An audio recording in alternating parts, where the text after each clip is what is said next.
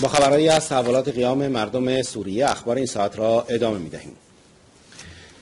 وتوی پیشنویس قطنامه شورای امنیت مبنی بر احاله جنایات دیکتاتور سوریه به دادگاه جنایی بین المللی توسط روسیه و چین با محکومیت جهانی روبرو شد. عفو بین الملل این دو کشور را به نمایشی از بیاعتنایی چندشاور در قبال قربانیان بیشمار در سوریه متهم کرد و اعلام نمود فرصتی حیاتی برای عدالت از دست رفت. یک بار دیگر روسیه و چین به خاطر نجات متحد سیاسی خود مردم سوریه را رها کردند. سامانتا پاور سفیر آمریکا در شورای امنیت نیز پس از وتوی پیشنویس قطعنامه علیه جنایات اسد توسط چین و روسیه گفت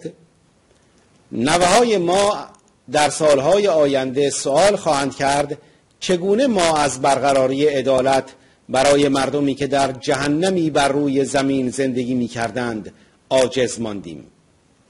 به افسود قربانیان ماشین کشتار صنعتی رژیم اسد و قربانیان حملات تروریست ها مستحق بیش از این هستند که فقط تعداد کشته های آنها شماره شود.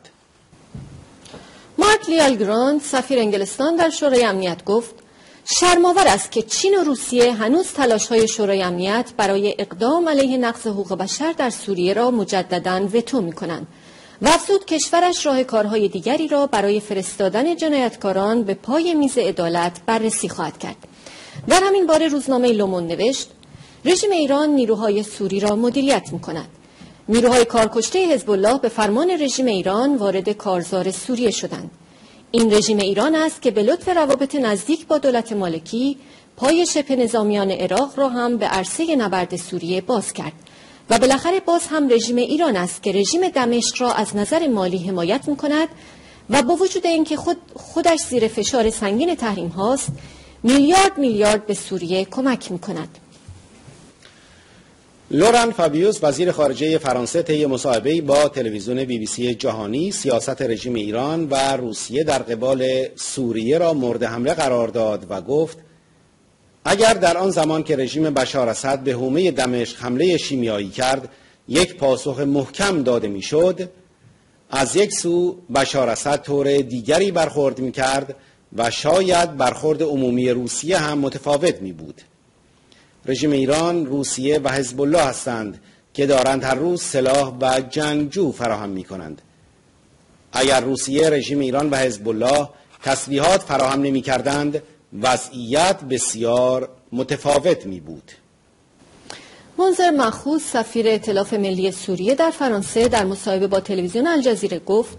بعد از جلسه شورای امنیت و بعد از وتوی روسیه و چین تنها راه باقی مانده برای اپوزیسیون سوریه اثبات خودش در صحنه نبرد است و جامعه جهانی خواستار برداشتن ممنوعیت تسلیح اپوزیسیون سوریه شد تا تعادل قوا در صحنه نبرد را تغییر دهند. بعد از شکست شورای امنیت در تصویب قطنامه احاله پرونده جنایات اسد به دادگاه بین المللی جنایی رژیم سوریه بمباران شهرک کفرزیتا را با گازهای سمی از سر گرفت که بر اثر آن دهها تن از شهروندان سوری دچار حالت خفگی شدند. بیشتر مصدومین از زنان و کودکان هستند. های اپوزیسیون سوریه در شهر موره حملات نظامیان اسد از دو جبهه به این شهر را در هم کوبیدند و طی نبردهای سنگینی هفت تانک نظامیان اسد را منهدم و دهها تن از نیروهای دشمن را به هلاکت رساندند. رزمندگان سوری در این عملیات همچنین پانزده تن از نظامیان اسد را که در حال فرار بودند دستگیر کرده و یک تانک و چند زرهی و مقادیر زیادی سلاح و مهمات به قنیمت گرفتند.